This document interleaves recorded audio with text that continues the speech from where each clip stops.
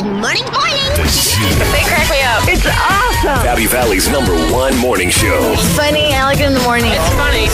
The Morning Zoo. I think they're great. The greatest of all time. What's up, gang? Hey, PJ. He's crazy. Crazy. It's a party every morning. I love you guys. Now, another hour of the Morning Zoo. Oh my gosh, how exciting.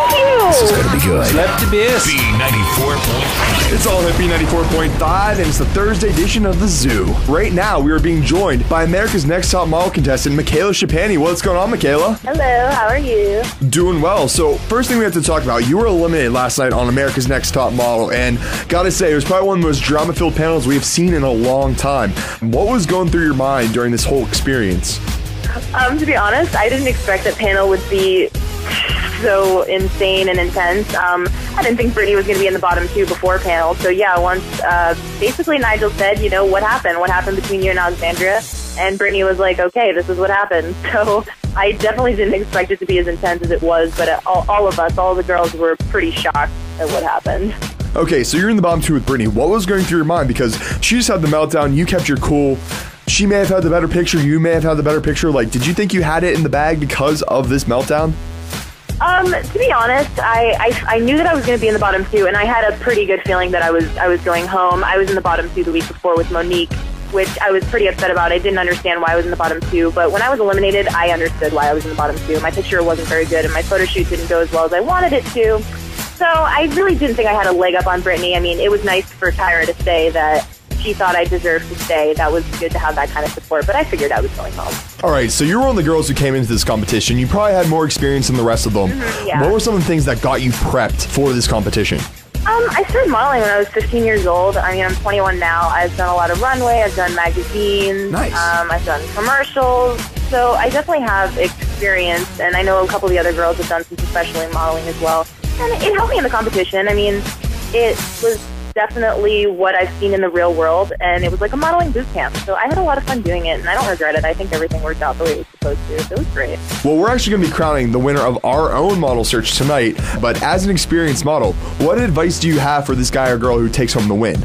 Oh man, um, I always say you have to have a thick skin. I've had so many doors shut in my face. I've been told I was too fat, you know, I didn't look right this way, this and that. You have to have a thick skin, and whatever people say to you, just know that that's their opinion. I mean, their opinion doesn't mean everything, so definitely keep going.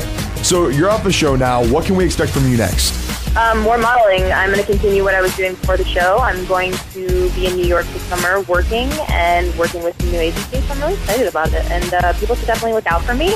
I don't plan on disappearing, so I can't wait to get back to work. Ah, gotcha. Well, you definitely were one of our favorites this season. We kind of got the like narrator vibe from you, so we were pretty shocked when you were eliminated before going overseas. Um, like, what did you think when you saw yourself being portrayed on the show? Like, did you also think that you're kind of getting like the narrator edit for the season? Yeah, I did definitely get that, that kind of edit as the narrator. All right, Mikaela, one last thing. So you have a ton of fans here in State College. How can they follow you? How can they get updates on you? What's your social media, your Facebook, your Twitter, your blog? How can they follow you on all this?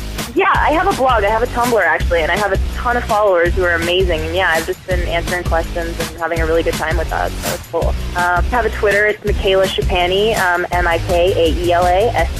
M-I-K-A-E-L-A-S-C-H-I-P-A-N-I. But um, I do a lot of my work from my Tumblr, which is lambonthelamb.tumblr.com.